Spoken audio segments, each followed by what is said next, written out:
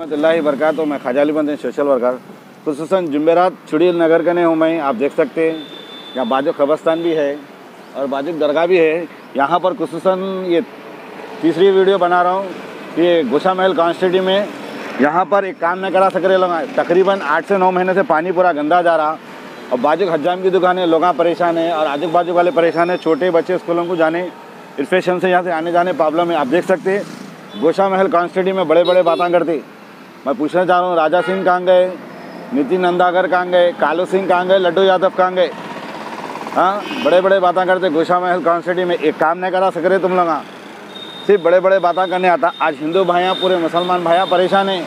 आप वीडियो के ज़रिए देखिए, कितना गंदा पानी है ये। देखिए, मैं लकड़ी लगा रहा हूँ यहाँ पर। तो हुकूमत से चाह रहा हूँ मैं, ये जल्द से जल्द काम कराइए। आप लोग बड़े बड़े बात मत करिए अब।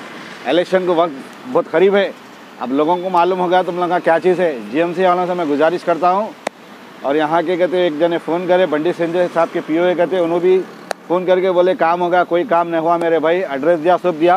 हुकूमत जीएमसी वालों से मैं गुजारिश करता हूँ, यहाँ पर आके काम कराना।